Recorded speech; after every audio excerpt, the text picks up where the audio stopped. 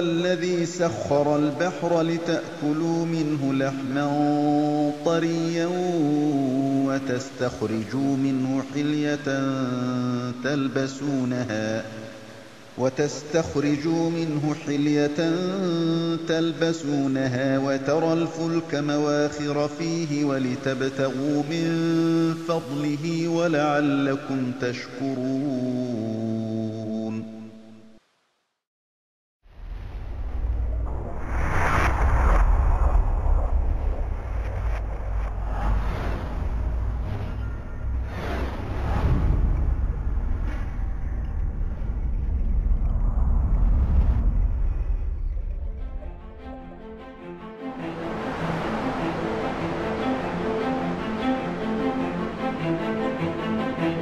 Land and sea come together in an eternal embrace that ignites the imagination to draw a painting based on the deep need of humanity for their ongoing reproduction. History has recorded the immortal feats of men on the pages of the water. Where the waves of the sea meet the port docks, the memory embodies the link between the past and present, inspiring the wisdom of our forefathers, the seamen, as they rowed the ships over the waves with hearts full of hope that the future will be better. The future is now rising, lighting up a country whose area spans over 2,000 kilometers of strategic beaches between the Arabian Gulf and the Red Sea. 1,050 nautical miles on the western coast and 520 miles on the eastern coast. The ports were unable to keep up with the requirements of development plans, causing chaos as a result of the congestion of ships between the ports, leading to their slow movement. The ships sometimes took 40 days to leave a large port such as Jeddah port, thus hindering the trade movement and inflating the prices of goods.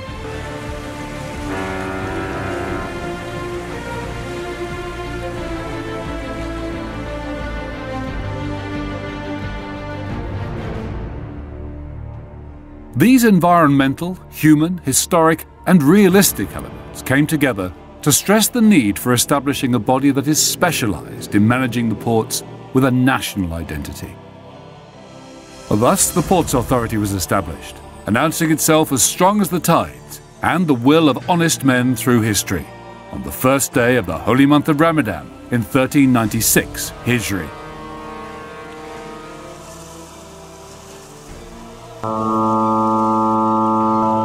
At first glance, the scene seems real, complex, and difficult.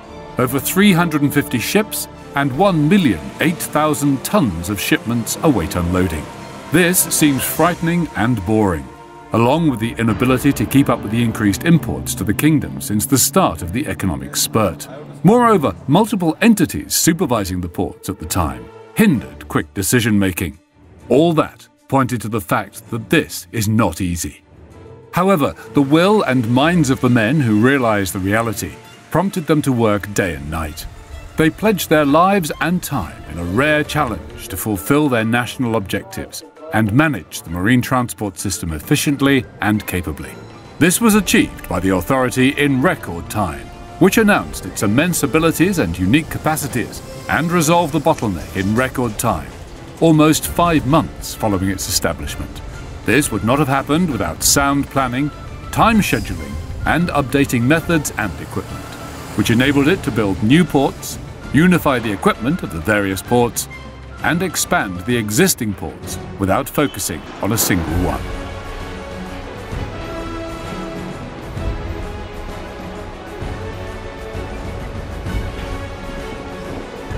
Four decades have passed since the establishment of the Ports Authority, which led to the establishment of several main ports on the eastern and western coasts with multiple specializations, industrial and commercial, in addition to three oil ports.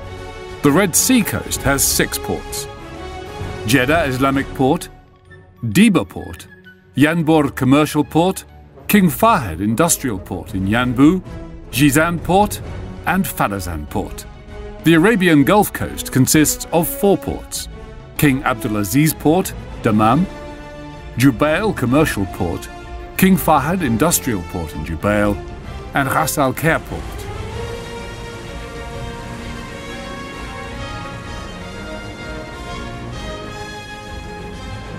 The Saudi ports, since the early days were strategically important as the only gateway for the pilgrims and the main gateway for commerce with the Arab Peninsula. At a time when there were no other competing means of transport. However, the rug was not pulled out completely from under the port passageways with their advanced fleets of ships on marine routes. The ship gates were, moreover, not locked in the face of travellers. There are ties that still pull them to the Saudi ports, as they're still buzzing with hundreds of thousands of travellers in view of the unique comforts and services and modern outfitting, whether in the passenger halls or expedited and facilitated travel procedures.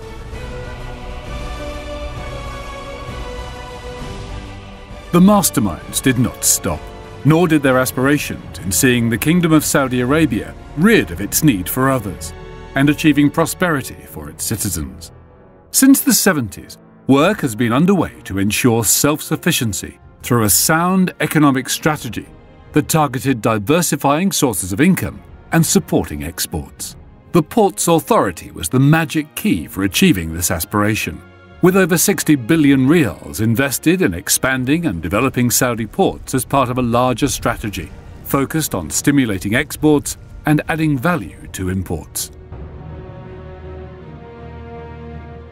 The Ports Authority, since its inception, was destined to bear the burdens of grave challenges that appear every once in a while, such as the quick structural economic changes in the international shipping markets, especially with the use of containers and ships prompted by the urgent need to address this quickly by establishing and developing container stations in all the Saudi ports and focusing specifically on the commercial ports. This reduced the cost of handling per ton from 155 rials in 1976 to less than 6 rials in 1998, thus strongly supporting the economic development program of the nation by reducing the cost of imports and alleviating the inflation pressures, as well as making exports more competitive in global markets.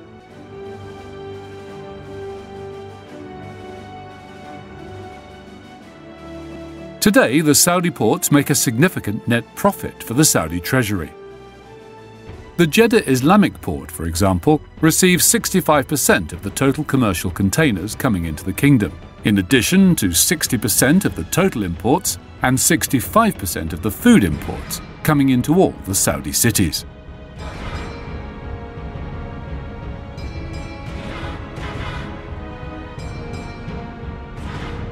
When we learn that marine transport contributes 90% to world commerce, we understand the ability of marine ports in establishing economic balance in any country. Therefore, the Saudi Ports Authority worked hard to include the Saudi ports in a comprehensive contract that significantly contributes to supporting the Saudi economy, as they became the most important passageways for commercial and industrial exchange between the kingdom and other regional and international countries. The ports were consequently developed and equipped with the latest equipment to receive giant ships and containers and keep up with the global developments in this regard. The system becomes complete with a unique distinction between the western and eastern coasts that hold between them another giant port that guarantees for the kingdom entrepreneurship in the direction of the east, which is the King Abdulaziz port in Dammam, considered the second most important port in Saudi Arabia in terms of the location, size, and specialization. It is also considered the main gate of entry for goods from all over the world to the eastern and central parts of the kingdom. This port was built to serve the oil industry and serve the cities in the eastern and central parts of the kingdom. The Saudi Ports Authority was able to attain self-sufficiency that reflects its interest in the humanitarian dimension, spiritually, mentally and physically through the administrative offices, marine, mechanical, electric and phone workshops, the marine telecommunications network and water desalination plants. On the other hand, it worked to provide a medical clinic fire stations, and a huge housing complex for port employees, with a mosque and a market.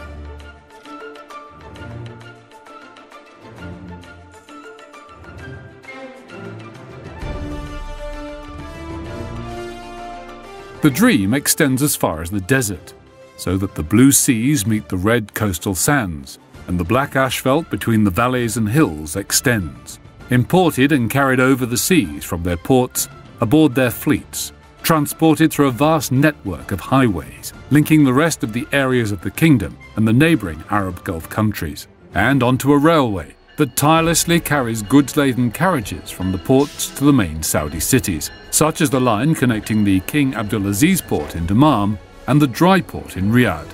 In spite of this, the Port Authority staff is ambitious to expand the scope of these lines to include the other ports in the kingdom.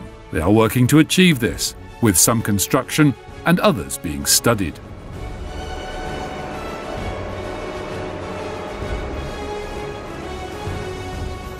It is the nature of things to change and transform. It is the way of the world. Thus, the authority understood the importance of keeping up with the times. In its wisdom, it created a comprehensive system of marine operations and port work, supported with the latest equipment, including towing boats capable of docking ships, however large, in complete safety.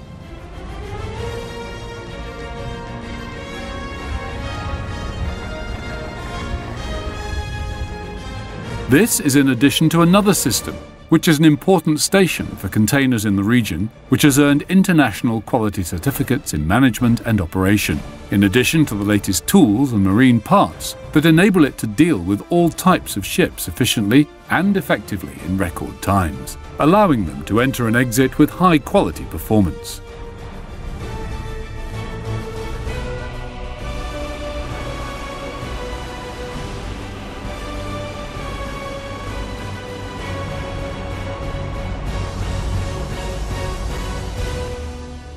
Saudi ports have become famous for owning the most important stations for containers and goods that serve the area, included in a host of diverse services. There are stations for cold and general goods, and for bulk grains, as well as joint container stations and transshipment facilities for containers and all types of goods, including vehicles.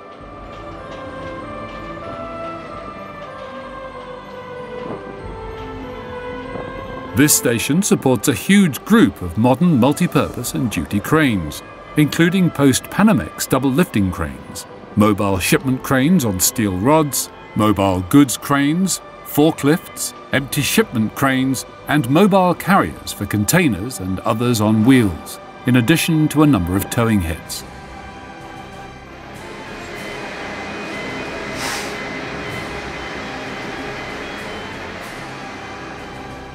As a result of the studied development in the container stations of Saudi ports, high and noteworthy rates were attained at technical levels, enjoying the ability to handle approximately 13 million containers annually. These are subject, like other imports and exports, to accurate scanning processes through modern equipment in customs centres at the Saudi ports. They are also subject to accurate tracking through advanced systems from the time they leave the country of origin until they reach the importer.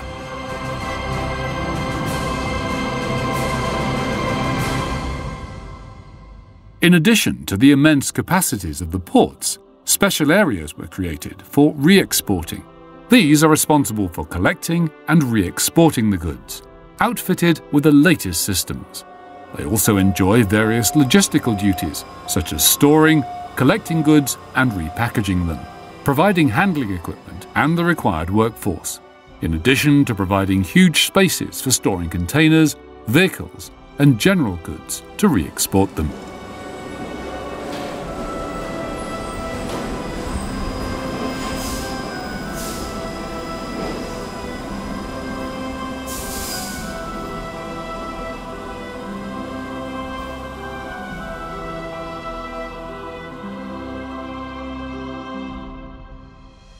The Ports Authority realised early on the importance of professional and environmental safety in the Saudi ports, and thus has instructed the relevant administration to undertake all their duties.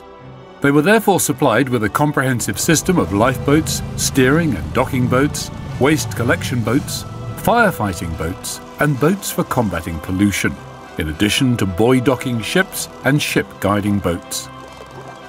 Additionally, maritime surveillance towers are outfitted with the latest communications and radar equipment to monitor ship movement.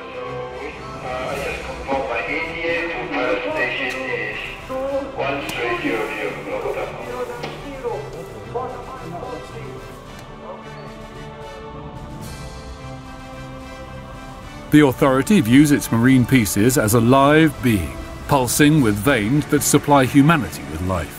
Any malfunction affecting it directly affects natural living beings. And therefore, it worked early on to avoid any problem that disrupts its live movement. It built repair basins for the ships that worked to maintain them and repair their malfunctions, such as the King Abdulaziz Basin for building and repairing ships, and the ship repairing basin in the Islamic port of Jeddah. This consists of floating basins along with a number of covered workshops and marine docks that are fully equipped to undertake all periodic maintenance work for ships at the hands of highly qualified trained professionals who have at their disposal the latest technological and technical equipment. The private sector spared no effort in contributing to the repair of ships. The Amzamil Basin at the King Abdulaziz port in Dammam has expansive capacities to build and repair about 12 ships simultaneously, all of which are specialized ships that are 80 meters long and 15 meters wide and weigh 1,500 tons. There is also ambition to expand the private sector in this regard. The surveillance towers in the Saudi ports are extremely important and compete with their peers in the global ports. These were equipped with very advanced and modern surveillance and tracking equipment, to the extent that the maritime surveillance towers in the Saudi ports are considered amongst the most important and modern towers, linked to a main control center in the Ports Authority in the capital, Riyadh.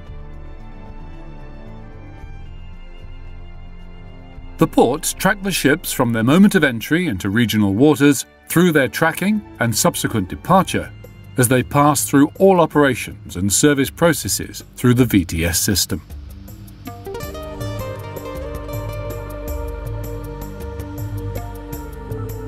The port facilities in the Kingdom of Saudi Arabia were not built as individual and separate projects. There was a conscious will to implement the principles of complementary planning in their construction. Our memory takes us back 40 years, specifically to the day the Royal Commission for Jubail and Yanbu was established in 1975. That was the start of the age of distinguished Saudi projects and marked the turning point in the Saudi history of construction. Merely thinking about building an industrial city was a stroke of the imagination.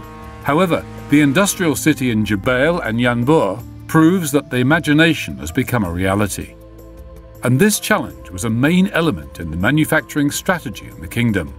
A main component was building a port for the import of large, heavy, and dangerous goods, and constructing a base to export industrial goods.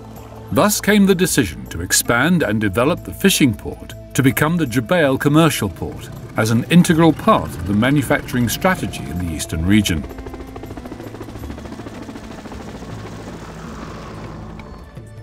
The Kingdom of Saudi Arabia occupies an advanced position among the countries of the world in its oil exports and petrochemical industries, as the kingdom owns the second largest oil reserves and sixth largest gas reserves. It is also considered the largest exporter of crude oil in the world, which constitutes approximately 90% of the exports. The kingdom is also ranked 19th amongst the largest economies in the world and was also classified as 13th country among the countries that export goods in the world. This increased the economic growth rates and necessitated a comprehensive system of industrial ports, which later became pioneering industrial cities of a high standing. Their duties are no longer restricted to imports and exports. They have rather become economic bases, in which a group of industries and services were established.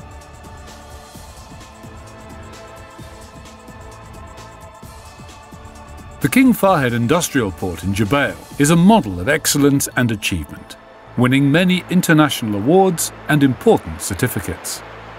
Since its establishment, it has worked tirelessly at a competitive pace to offer services of importing raw materials required by local industries, in addition to exporting industrial products on which the national economy is based, such as petrochemical, refined petroleum products, chemical fertilizers, and sulfur.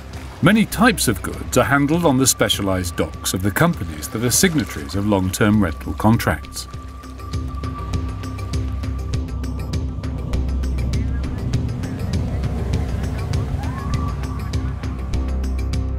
The western and eastern coasts are connected and united by a single Saudi national identity to support the national industrial development journey. The King Fahd industrial port in Yanbu is considered a main port for loading crude oil and refined products and petrochemicals to the Red Sea. 300 kilometers to the north is the Jeddah Islamic port, which is 25 kilometers long on this strategic coast. It is also in the middle of the sailing route between America and Europe and the East through the Suez Canal and Bab al Mandeb. This port is important to serve the industrial communities and fulfill their requirements. In addition to exporting crude oil, its refined derivatives and liquid and solid petrochemicals to the global markets. Through this port, the needs of the industrial complex are imported, including machines, equipment, and plant components. The need persisted for additional ports to be added to the Port Authority, so that no coastal area would be left behind. Thus came the Ras Al Khair port, the latest industrial port in the kingdom, to enhance the belief in the importance of coming closer to industrial areas. The Ras Al Khair port is linked via railway to the mines and the city of Waad al Shamal in the northern region. It therefore opened new industrial horizons with varied production heralding a promising economic future for the homeland and citizens. The Ras Al Khair manufacturing zone will supply the Saudi economy with veins feeding the pivotal programs and projects undertaken by the public and private sectors.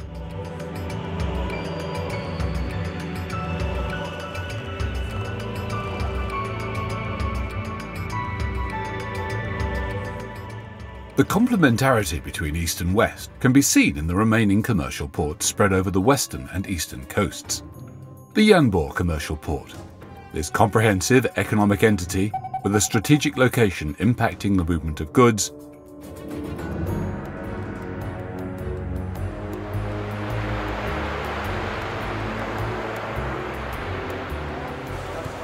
From the northwest to the southwest, there is the modern Jazan port, with its deep waters, equipment, and highly skilled workforce, guaranteeing speed and efficiency in ship handling. The port is situated on the southwestern coast of the Red Sea, approximately 190 miles north of Bab al Mandeb Straits. This makes it very close to the Aster and western maritime trade routes between Europe, the Far East, Arabian Gulf, and East Africa. The city of Jazan is connected to the remaining areas of the kingdom via a modern network of roads, enabling it to serve the southeastern parts of the kingdom.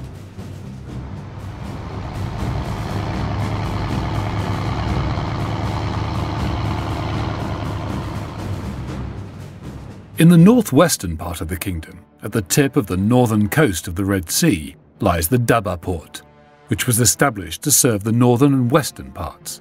As it is the closest transit line between the Arabian Gulf and the Arab Republic of Egypt, it provides a host of investment opportunities, specifically in passenger transport, as the port links two maritime routes, the Safaja port and Hurghada on the Egyptian coast.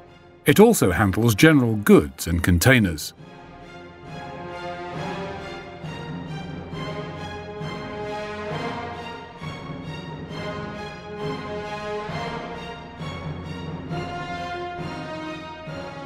The services offered in Saudi ports, without exception, are characterized by their quality, as they're supported by shipping and unloading staff with significant expertise and professional efficiency.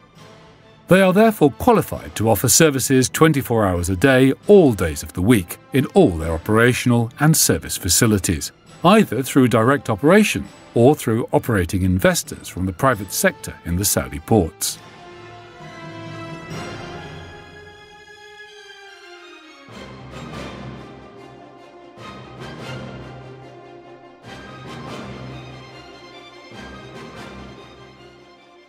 The Port Authority realised from the very first day the importance of partnership between the public and private sectors in supporting the system of services and developing them, thus benefiting the homeland and citizens. The Kingdom of Saudi Arabia was a pioneer in privatised operation processes in the Saudi ports.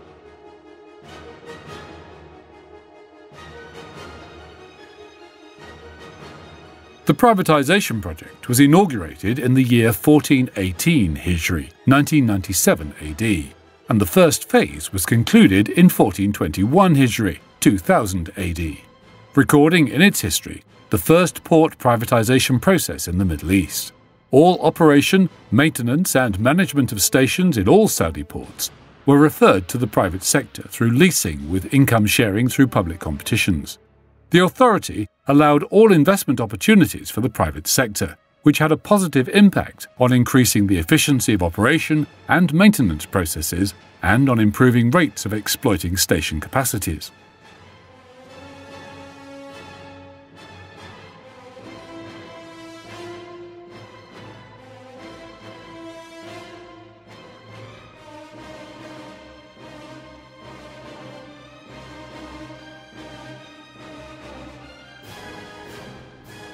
A quick statistical process will reveal that the volume of private investment in the Saudi ports totaled 12 billion rials, thus making the total public and private investment in this vital sector 58 billion rials.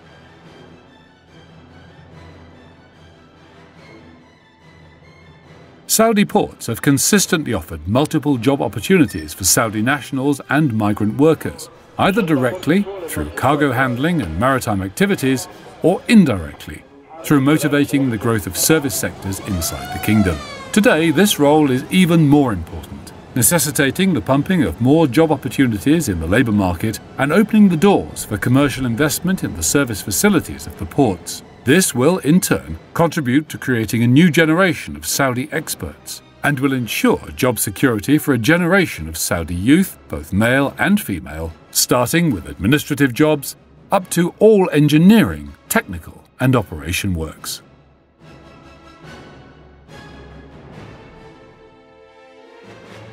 With its vast expertise and unique experiences, the authority realized the importance of investing in people, and for this purpose, it established in the main ports training centres including halls, workshops, English language labs, and ceremony halls.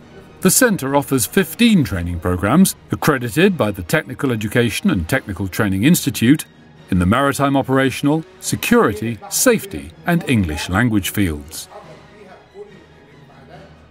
The centres also offer their programs for all members of the Saudi ports, as well as various relevant government sectors, such as border guards, civil defence, Saudi Royal Marine Forces, university students, the Meteorology and Environment Protection Authority, and grain silos, as well as many other sectors, in addition to scholarship and training programs at the specialised centres and universities internally and abroad.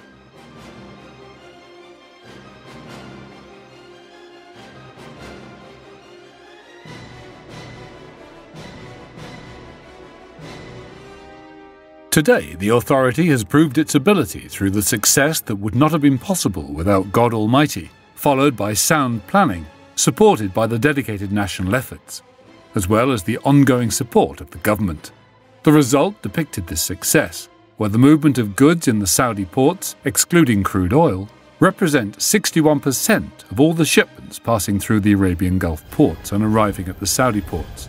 A total of over 1,200 ships monthly, or one ship every 30 minutes, each of which are subject to a unified set of rules and regulations that the Ports Authority unified in its regulations passed in 1400 Hijri, 1980 AD. These regulations are also regularly updated.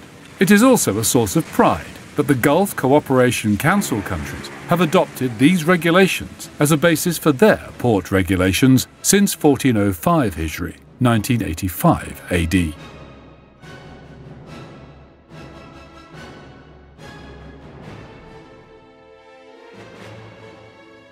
Today, the Saudi ports are no longer merely locations for shipping and unloading goods. They have become comprehensive economic cities, hosting important strategic industries such as sugar refinement, food oil packaging, and the storage and packaging of rice and other grains. They are also marine platforms for constructing ships and the manufacture of various maritime spare parts. They are, moreover, supported by logistics areas, offering comprehensive services to fulfill the needs of investors and facilitate the work of beneficiaries of marine port services. These giant enterprises are run by national mines via a modern computer network, allowing beneficiaries to track their shipments through a high quality electronic tracking system.